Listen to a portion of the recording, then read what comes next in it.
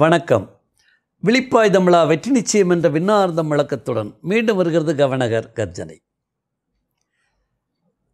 வாரம் ஒரு விவாதம் இறைவனுடன் என்ற தலைப்பில் நம்முடன் இறைவன் என்ன சொல்ல விரும்புகிறார் என்பதை யாராவது ஒருத்தர் செலக்ட் பண்ணி சொல்கிறது வழக்கம். அந்த வகையில் என்னுடைய அருமை மகள் ஆடிட் பத்மா அவர்கள் சைவ சித்தாந்த கடல் வேதாந்த கடல் சன்மார்க்க கடல் இறைவன் மீது அளவற்ற அன்பு கொண்டவர்கள் ஜீவகாருண்யமே மோட்ச வீட்டின் திறவுகோள் என்பதை நன்கு உணர்ந்தவர்கள். அப்போ இறைவன் அவற்றை வந்து கேள்வியும் கொடுத்துட்டாரு பதிலையும் கொடுத்துட்டார். எப்பயுமே நம்முடைய திருமறைகளை பொறுத்தளவில் அப்பப்போ அப்டேட் பண்ணிடுவாங்க புதுசாக்கிடுவாங்க ஒரு திருமறையை வச்சுக்கிட்டு போராடுறதெல்லாம் அது இஸ்லாத்துக்கு ஓகே கிறிஸ்தவத்துக்கு ஓகே. நம்முடைய சிவநெறி அப்படி கிடையாது. அப்பப்போ புதுசு புதுசாக மகான்கள் தோன்றுவார்கள். இறைவன் அவர்களை பயன்படுத்தி இந்த திருமறைகளை இன்றைய காலகட்டத்துக்கு தந்தபடி நவீனப்படுத்தி விடுவார். அந்த வகையில்தான் பத்மா வழியாக அதை நவீனப்படுத்தி கொடுத்த மாதிரி தான் இது எனக்கு தெரியுது. அதுதான் ஏற்கனவே சொன்னேன் அந்த உரையாடலில் இவர்கள் அவர் கேள்வியும் கொடுக்குறாரு பதிலையும் கொடுக்குறாரு. அதை நூற்றுக்கணக்கான பக்கங்கள் வள்ளலார் ஆராய்ச்சிச்சம் பாட்டு எழுதின மாதிரி ஐநூறுக்கும் மேற்பட்ட பக்கங்களில் விடாமல் விடை விடிய உட்காந்து எழுத வச்சிட்டார். எழுதி வச்சு அவர்கள் அதை ஐயாவோட பேசி இது எப்படி மக்கள்கிட்ட சொல்கிறது அப்படின்னு சொன்னாங்க. நான் சொன்னேன் வாரம் ஒரு விவாதம். இறைவனோட என்ன விவாதம் நடக்குது? உனக்கும் இறைவனுக்கும் இடையே நடந்த அந்த விவாதத்தின் கேள்வி பதில் ரெண்டையும் மக்கள்கிட்ட சொல்லுவோம். அதன் வழியாக இந்த ஆன்மீக தத்துவத்தை நம்முடைய சைவ சித்தாந்தம் சன்மார்க்கத்தின் உட்பொருளை மக்கள் உணர்ந்து அதை பின்பற்றி இன்னும் தெளிவு பெறட்டும் அப்படின்னு ஐயா சொன்னேன்.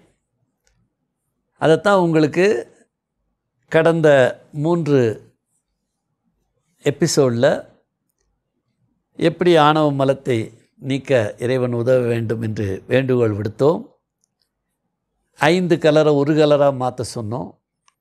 இப்படி ஏற்கனவே நம்ம பேசணும் இன்றைக்கு அவர் என்ன சொல்கிறாரு இறைவன் அவருடன் நடத்திய உரையாடலில் கொடுத்த அந்த சப்ஜெக்ட் என்னன்னு கேட்டிங்கன்னா எப்போவுமே அவர் உங்களை தான் நான் மவுத் பீஸாக பயன்படுத்துவேன்.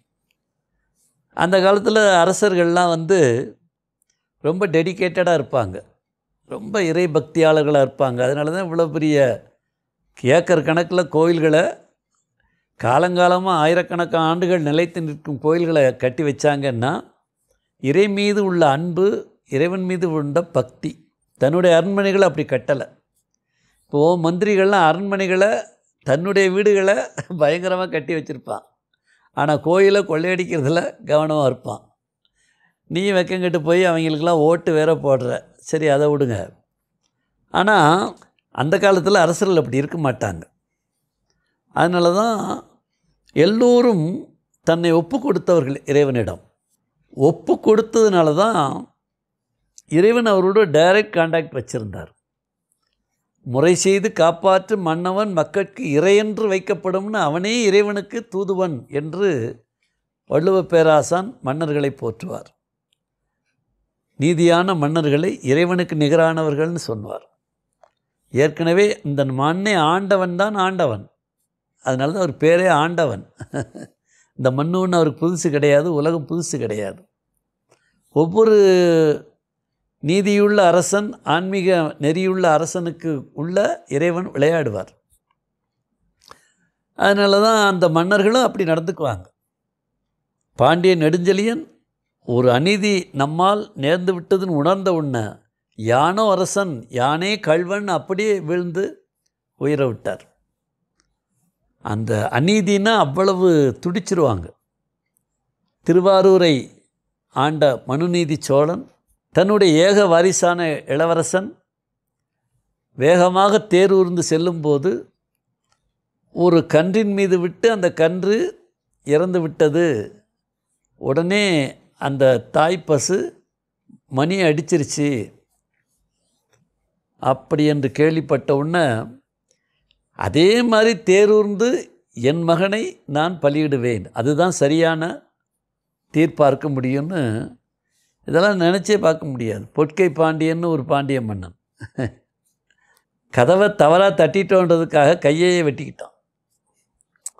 இதெல்லாம் பார்க்கும்போது மன்னர்கள் இப்படி டெடிக்கேட்டடாக இருந்தாங்க.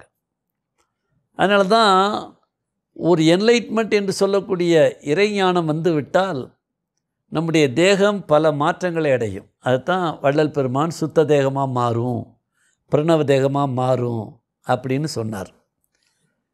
திருமூல தெய்வமும் தேகத்தில் என்னென்ன மாற்றங்கள் நிகழும்னு சொன்னார். அப்போ நாவில் சுரக்கும் உமிழ்நீர் அமுதம் போல் இனிக்கும். தேகத்தில் நறுமணம் வெளிப்படும். இதெல்லாம் அவங்க வெளி சொன்னாங்க. அப்போ அந்த மன்னனும் ஒரு ஞான புதையல். அவருடைய பட்டத்து அரசியும் ஒரு தெய்வீகமான பெண்மணி. அதனால தான் அந்த கூந்தலில் நறுமணம் வந்தவுடனே இன்னும் குளிச்சுட்டு வெளியே வர்றதுக்குள்ளேயே கூந்தலுக்கு நறுமணம் வருது. இன்னும் வாசனாதி திரவியங்களை பூசலையே. அப்போ இவ கூந்தலுக்கு இயற்கையான நறுமணமா? இது செயற்கையான நறுமணமான்னு அவருக்கு ஒரு சந்தேகம் வந்த உடனே தான் இந்த பிரச்சனையை நேரடியாக சொல்லாமல் எனக்குள்ளே ஒரு சந்தேகம் இருக்குது அதை யார் தீர்த்து வைக்கிறாங்களோ அவர்களுக்கு நான் ஆயிரம் பொற்காசுகளை தருவேன்னு அவர் அனௌன்ஸ் பண்ண. அப்புறம் ஒரு சிவபக்தன் தர்மின்ற ஒரு ஏழை புலவன் சொக்கநாதன் மதுரை சொக்கநாதன் மேல் அளவற்ற பக்தி கொண்டவன் எதுனாலும் சொக்கான்னு போய் நிற்கிறவன் அந்த வார்த்தைக்கு ஒரு மிகப்பெரிய ஒரு சக்தி உண்டு. அது மாதிரி போய் நின்ன உடனே அவருக்கு அந்த திருவிளையாடல் செய்யணும்னு முடிவு பண்ணிட்டாரு. அப்போ இவர் எழுதின பாட்டுக்கு தர்மிய மவுத் பீஸாக பயன்படுத்தணும்னு சொல்லிட்டு இந்தா கொண்டு போய் கொடு கொடுத்து பரிசு வாங்கிக்க அப்படின்னு சொல்கிறார் அதான் அந்த குறுந்தொகையில் வரக்கூடிய ரெண்டாவது பாடல் இறையனார் எழுதிய பாடல். கொங்குதேர் வாழ்க்கை அஞ்சிரை தும்பி காமம் செப்பாது கண்டது மொழிமோ பயிலியது கெளிய நட்பின் மயிலியல் சிறியயிற்று அறிவை கூந்தலின் நறியவும் விழவோ நீ எறியும் பூவே. இது அந்த பாட்டு. இப்போ இதை கொண்டு போய் கொடுக்கும்போது நக்கீரர் எதுக்கிறார்?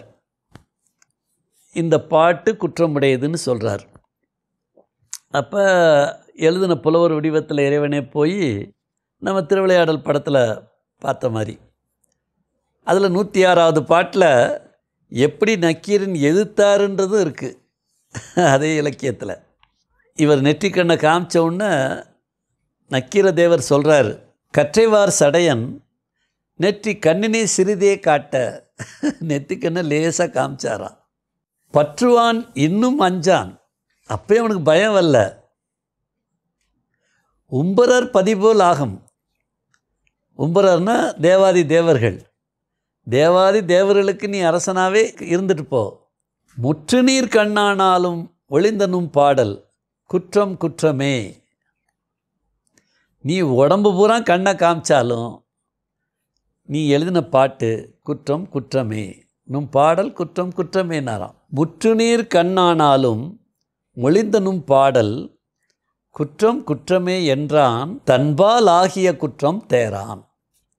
இதில் என்னன்னு கேட்டிங்கன்னா அதுலேயே வரும் அந்த வசனம். குற்றம் கண்டுபிடிச்சே பேர் வாங்குகிற புலவர் அப்படின்ற மாதிரி அவருக்கு டயலாக் அழகாக எழுதியிருப்பாங்க.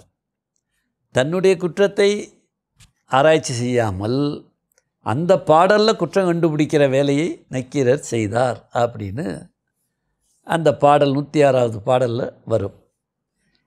இதில் என்ன பிரச்சனைன்னு கேட்டிங்கன்னா ஒன்று ஒப்புக்கொள்ளுதல். ரெண்டாவது ஒப்பு கொடுத்தல் யார்கிட்ட ஒப்புக்கொள்ளும் தன்மை இருக்கிறதோ அது சரியாக இருந்தாலும் ஒப்புக்கொள்ளணும் தவறாக இருந்தாலும் ஒப்புக்கொள்ளணும். நாம் தவறு செய்கிறோம்னா ஒப்புக்கொள்ளணும். நாம் சரியாக இருக்கோம்னா அதையும் ஒப்புக்கொள்ளணும். இந்த ஒப்புக்கொள்ளும் பண்பும் அப்புறம் இறைவனிடம் சரண்டராகக்கூடிய ஒப்பு கொடுக்கும் பண்பும் இருந்துருச்சுன்னா எல்லா சிக்கலும் தீரும். இப்போ அரசன் ஒப்பு கொடுத்தவன் அவன் சந்தேகம் தீர்ந்தது.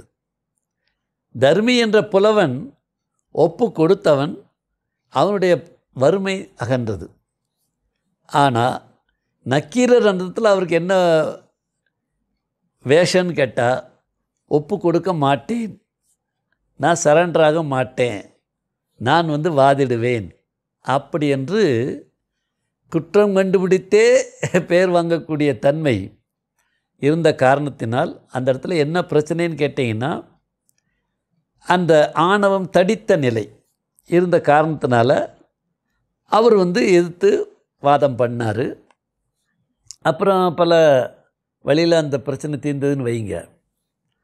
இப்போ இதன் வழியாக இறையருள் என்ன சொல்ல விரும்புதுன்னு கேட்டால் ஒவ்வொரு மனிதனும் முதல்ல ஒப்புக்கொள்.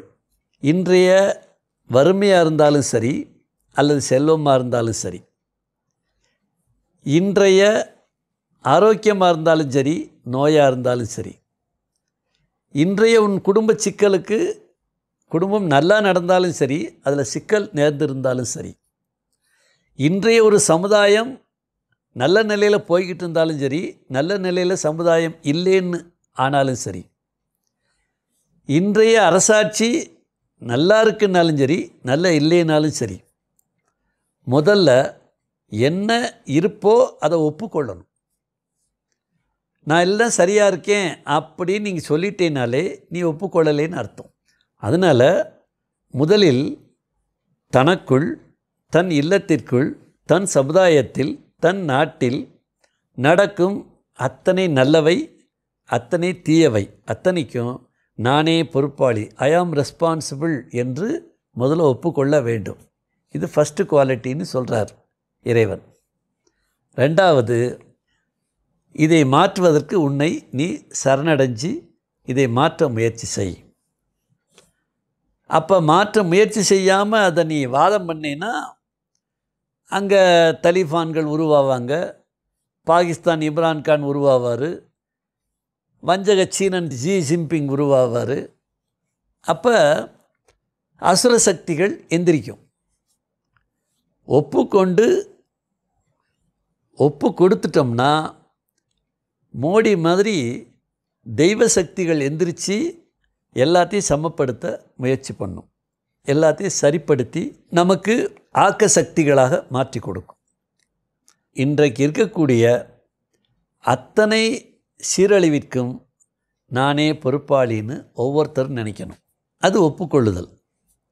அப்புறம் அதை மாற்றுவதற்கு என்னென்ன விதத்தில் நாம் எல்லோரும் இணைந்து செயல்பட வேண்டும்னு முடிவு செஞ்சு இறைவனிடம் நாம் சரணடைந்து இதெல்லாம் மாற்றுறதுக்கு எனக்கு துணையாயிருன்னு நம்ம கேட்கணும். கேட்டால் எல்லாத்தையும் மாற்றி கொடுத்துருவார். அப்போ ஒரு சுகமான வாழ்க்கை என்பது பூமியில் எல்லாருக்கும் கிடைக்கும். அதுதான் இன்றைய விவாதத்தின் முடிவாக நாம் சொல்ல விரும்புகிறோம். முதலில் ஒப்புக்கொள்வோம். பிறகு இறைவனிடம் ஒப்பு கொடுப்போம் நம்மை. இறைவன் உள்ளிருந்து வழிகாட்ட நாம் அவருக்கு மவுத் பீஸாக இருந்து சொல்ல வேண்டியதை சொல்லி செய்ய வேண்டியதை செய்து மாற்றங்களை உருவாக்குவோம். மனமகிழ்ச்சியோடு வாழ்ந்து மனமகிழ்ச்சியோடு இறைவனிடம் கலப்போம். வெற்றி நிச்சயம். என்றும் அடுத்த வாரம் சந்திப்போம். நன்றி வணக்கம்.